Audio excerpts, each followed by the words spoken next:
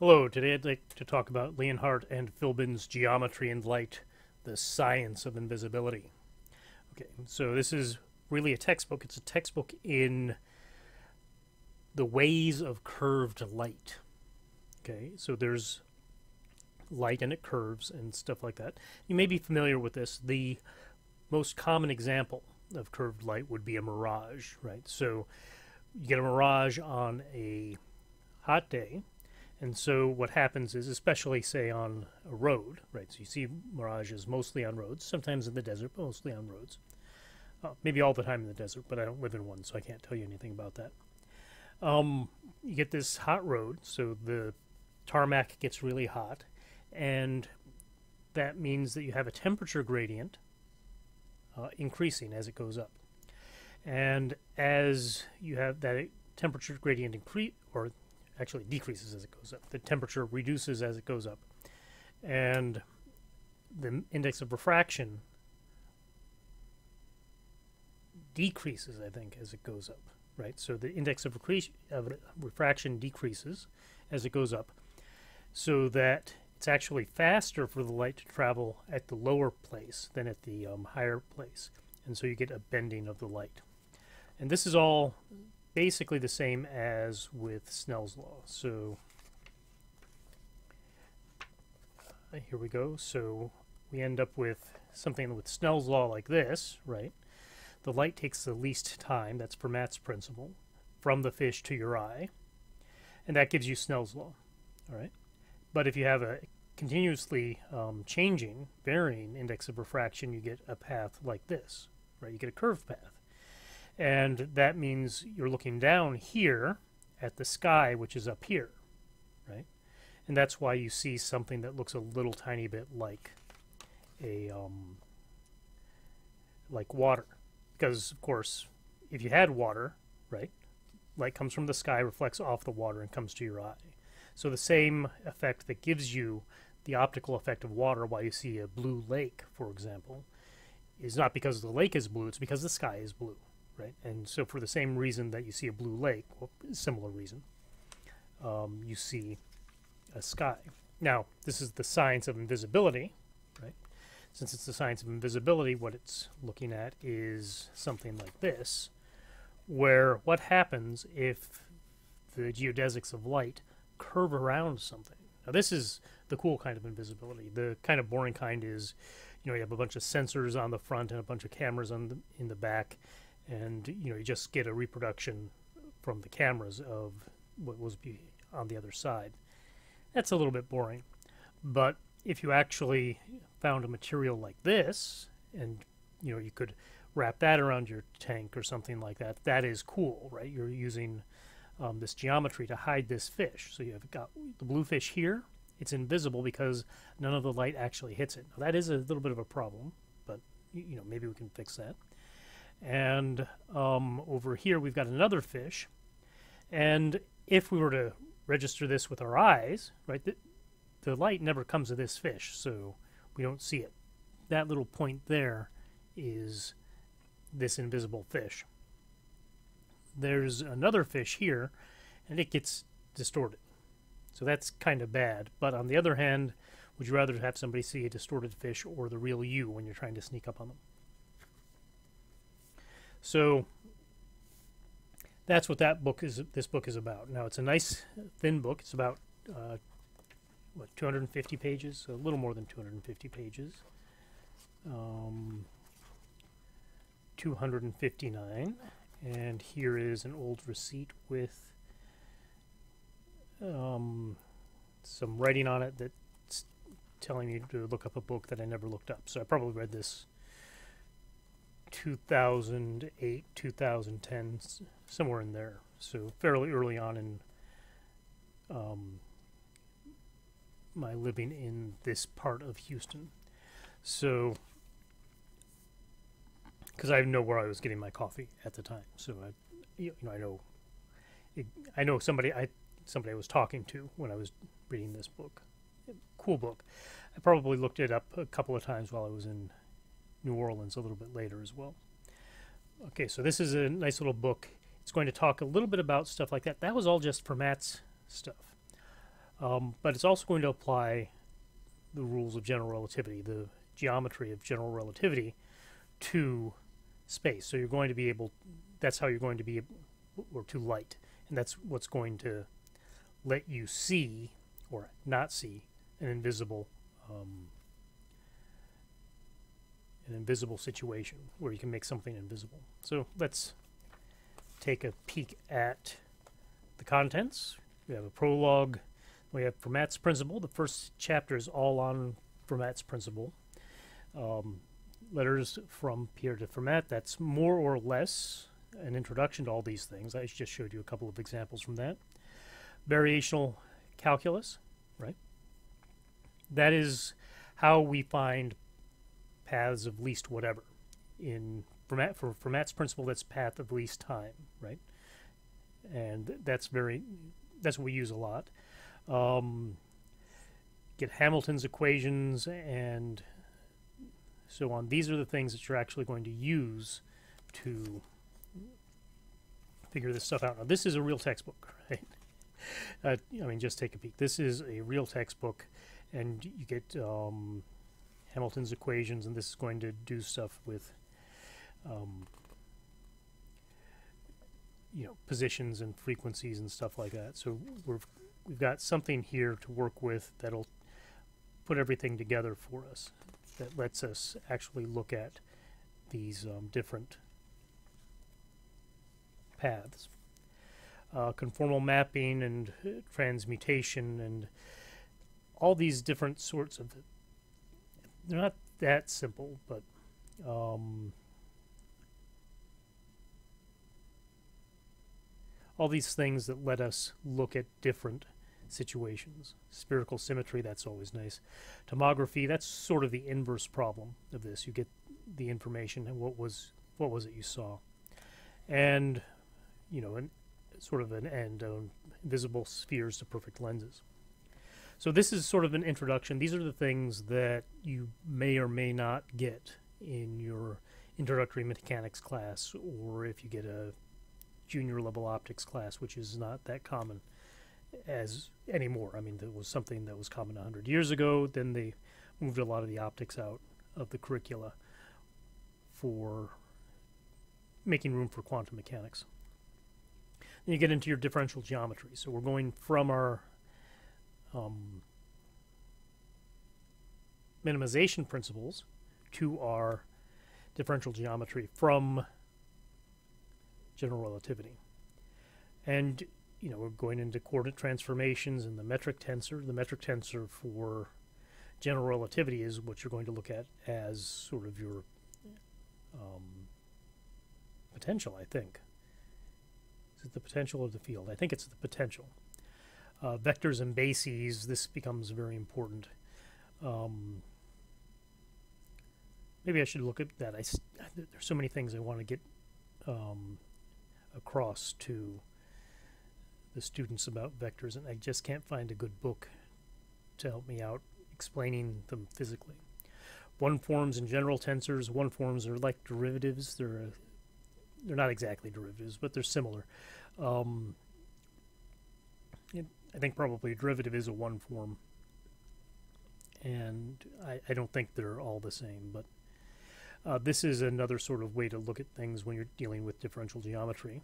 Um, things get more and more complicated. Vector products and the Levi-Civita Levi ten tensor. Haven't said that one in a long time.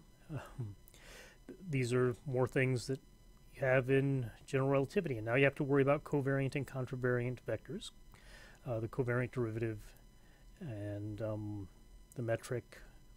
Then you have some calculus, divergence curl and Laplacian, curvature, geodesics, parallel transport. This is the big thing for, you know, um, general relativity where you can take a vector and go around in a circle and in a curved space-time it's going to come back right it comes back with a different direction because space-time is curved. So that's that's a very interesting thing. This is how you know we talked about those walkers on physics frontiers. This is sort of how those are supposed to work.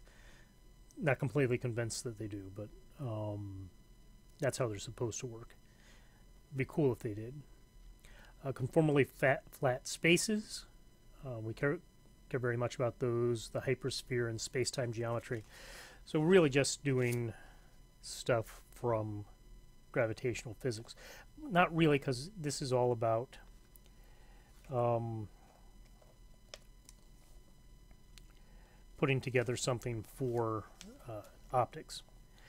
Then we go to Maxwell's equations. So we've gone fro we started with basically ray optics, went to differential geometry, which is yeah, differential geometry, some very advanced geometry. Now we're going into Maxwell's equations. This is important for electromagnetic waves because that's what optics are. Um, does not have as much room as I would want to go for going from electromagnetic waves to geometrical optics, but uh, you can get that anywhere. If you want to get done with the class, um, you know, this is what you do.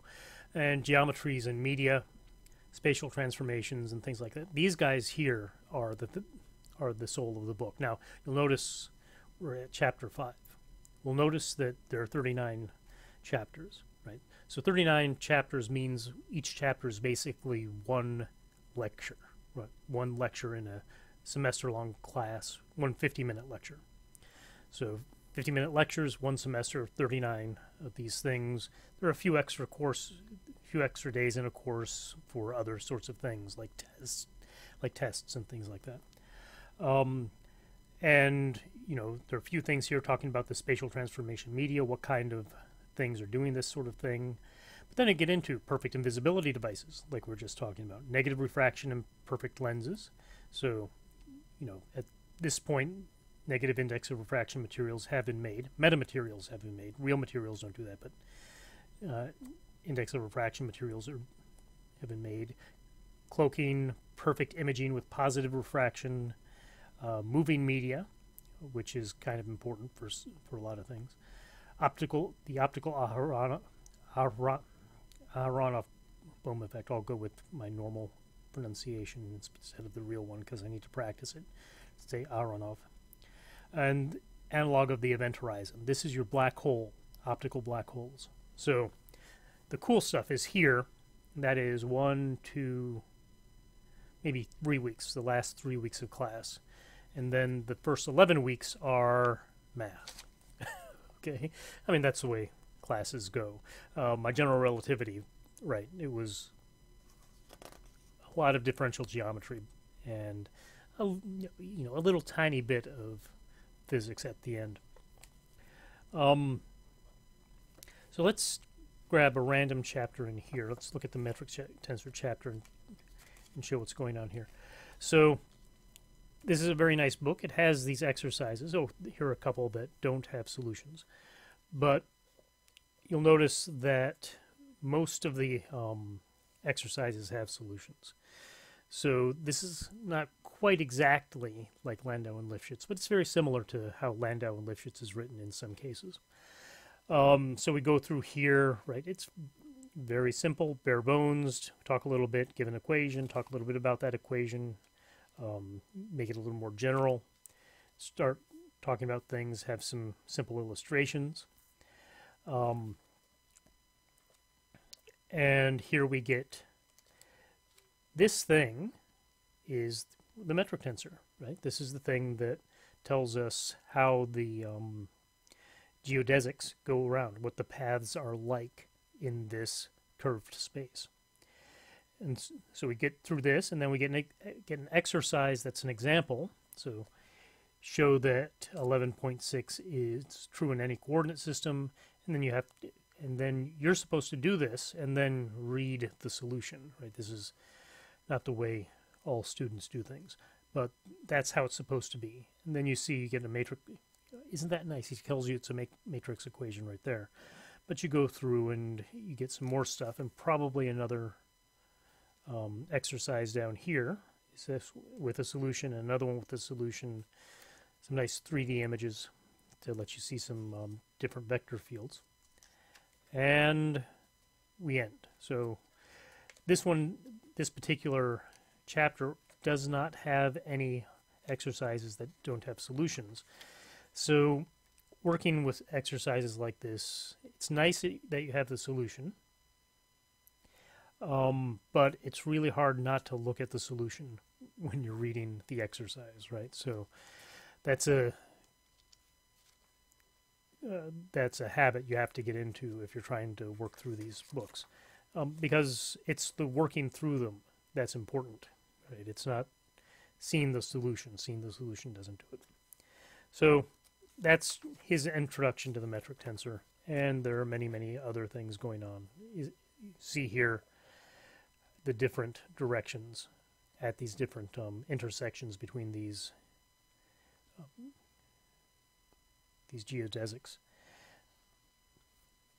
So these are different um, unit vectors, basically, vectors and bases. Uh, let's get in here. Let's see if we can find some good stuff in the at the end, right? Um, the last three chapters I think are really good. So let's moving media. This is very important. This is a way to measure the speed of light. Fizeau's experiment, or this is for the dragging of light by a moving medium. Fresnel drag. Uh, here we have the optical Aharonov Bohm effect. So basically, if you can get a vortex in there, you get some interesting effects, right? So this is what this is all about, is looking at this particular effect. Um, and you can see some of these images and what they have. And this is, the Aharonov Bohm effect is very important in that sort of shows the reality of the phase in a um, quantum mechanical situation. And it's been a long time since I read this, so I'm not completely sure what's going on here. But we still have the Fresnel drag moving medium. That reminds me of something else, but we won't do that. And of course, 39, we have the analog of the event horizon. Um, basically, water can't, or light can't get out of the medium. Uh, I'm not sure what that does to a real object. So if the light actually gets stuck in your medium, it's going to heat it up, and that's going to do bad things to your medium after a short period of time. Um, but this is where you're going to get your invisibility, so it would be interesting to see what's going on. Notice there's a Penrose, these are both Penrose, this is a Penrose diagram, this is a folded Penrose diagram. This is something that you get with a black hole. This is how um, you look at basically entire spaces of infinitely large spaces. A very strange thing to see in a book on optics, right? So that's um, what's going on there, and Bekenstein has the whole thing. So that is the book. Oops, don't look at that. Um, it's a very nice looking book, especially for $25. It may be more now, but um, you know, especially for $25, this is a really good looking book uh, really well written by somebody who does this sort of thing with geometry and light. So uh, this is a good recommendation for somebody who's interested in that stuff. It is a pretty tough book, right? If you don't have the background, you're going to have some problems. But you know, I do trust you. I think I, I think you could get something out of this if you wanted to. So thank you very much for listening, and we will come back again next week with another random book.